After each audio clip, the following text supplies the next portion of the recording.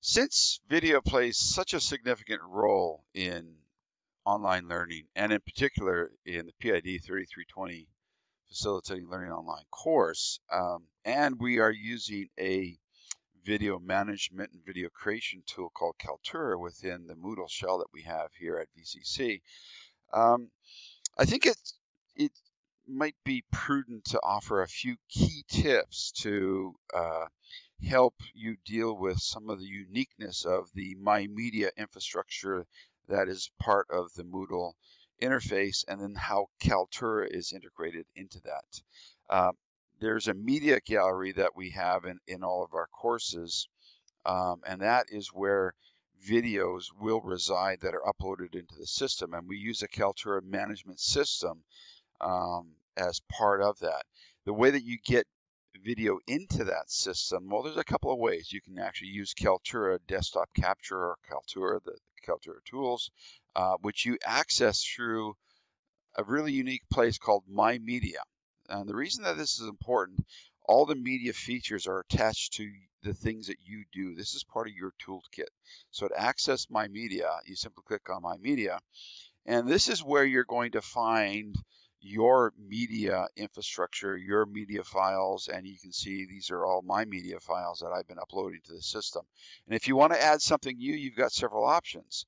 You can do a media upload, which means that you can upload a file that was created on another tool into the system. You, you can, um, uh, well, I don't this doesn't always work connecting to YouTube. Uh, you can use Kaltura Capture, which is the uh, built-in tool that we use that you can use to create your introduction video if you so like, or you can do a desktop capture like I'm doing here. I happen to be using a tool called Screencast-O-Matic because it's a, it's a tool I use quite a bit. Uh, it's got a little bit more power, more features. Uh, it has a management capability that I use in the cloud, and I've been using it for a few years now, so it's a tool I'm very familiar with.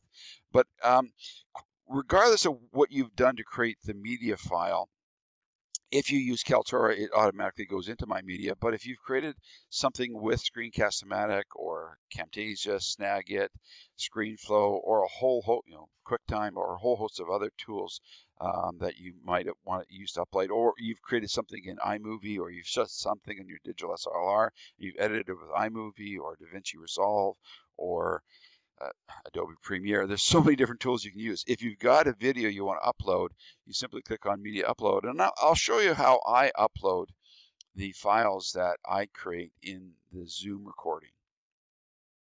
So um, you have an option of uh, bringing up a, a, uh, an interface, or you can actually even drag and drop a, uh, a, video recording, and that's what I'm going to do. So the, the recording from our Monday night uh, meeting um, yeah, it's Wednesday morning. I still haven't updated that. It's been a busy few days here. um, so to upload that, I simply drag, drag and I drop it into uh, the folder and it'll automatically start to upload. You could have done the same thing by going through your file structure, finding the file and uploading it. I just happen to have it ready. I was taking a look at it. Um, I automatically label things in such a way that it'll make sense. Um, you can add a description if you like. You've got control over that. Uh, it warns you about different things. Ah, it's private right now because I'm the owner, and I'm going to hit save. And the reason I hit save is that I wanted to automatically process the file. Um, also, after the video has been uploaded, I am going to publish it, and you're not able to publish it until you've saved it the first time. Just a little gotcha with uh, Kaltura. So um, as we're going along, um, I'm going to come back to this at some point um, and um, show you what you do next to make sure that you get it published because that's the other little gotcha you're going to run into. Now, what I want to explain is that I'm not going to take you through everything in step-by-step -step detail because your desktop might be different. You might be doing this on Chrome. You might be doing this in Safari, different browser. You might be doing this in Windows. It's going to look slightly different. I want you to, to know where to look, but not necessarily what to see. What you're going to see is going to be dependent upon your own desktop. So it's going to be important for you to understand that there are going to be some differences. The other thing I want to bring to your attention too, some of these files that we create can be quite big. And you'll notice that, hmm, listen, it's pausing. It's just the way that it is. So we'll, we'll wait for that to catch up. I'm not sure why it pauses, but it sometimes does that. So Um, I'm going to talk about a couple other things that are going to be important while this file uploads. Okay, as you can see, the video just finished uploading, so the upload is complete. Uh, it still has to process it. There's some stuff that happens in the background, so you might not necessarily the see the video. You're going to see some gears on it if you try to use it and work with it right away. But here's something I, I want to uh, show you that you need to do now is that um, I want to publish this. When I click on that publish area, it gives me an option to publish it in a certain location. Well, guess what? I, I want to publish it in, in 3320, so I check that off, okay? And now I hit save. And so that file will be, you know, ready to go. So there's there's other files that I can upload now, but I, I'm not necessarily going to be doing that. So now that that file has been published, if I want to work with this particular file and embed it into um, a, uh, forum or well in most cases you are going to be pub if, if you're doing this with your introduction uh, video or other videos your asynchronous videos you're you're going to want to embed that into a forum. So I'll, I'll show you how that is going to work next.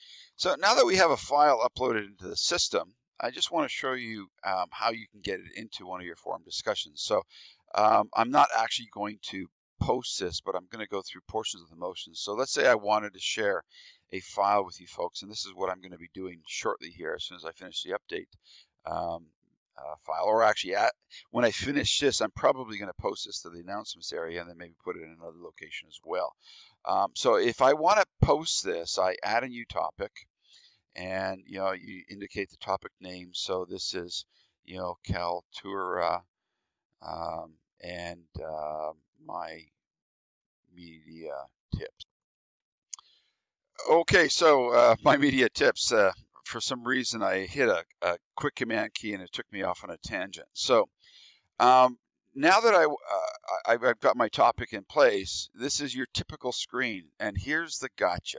How do I embed the Kaltura video? How do I do it? Well, you click on this little down arrow and you're going to see this kind of interesting little multiple colored embed Kaltura media icon and you click on that and then it allows you to go into your my media section and you'll notice ah there's those gears. Yeah that means that the video hasn't been processed yet.